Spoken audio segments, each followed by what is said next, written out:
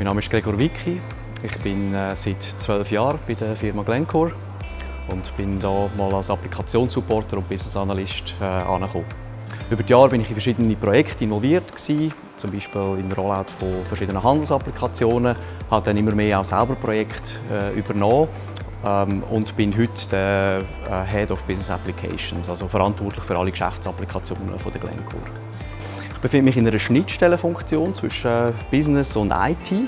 Mein typischer Arbeitsalltag ist geprägt von Meetings und auch Workshops mit äh, Vertretern der Fachabteilungen oder auch mit meinem Team.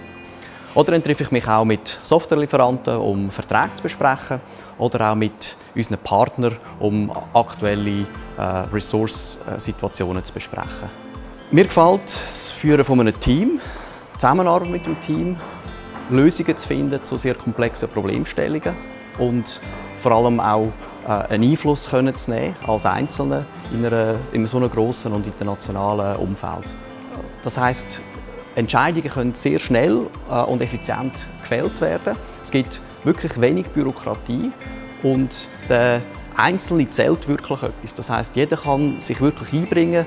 Es wird jedem auch zugelassen, wenn er etwas zu sagen hat. Und das ist für, äh, aus meines Erachtens ist das eigentlich recht einzigartig in einer Firma von der Größe äh, der Glencore.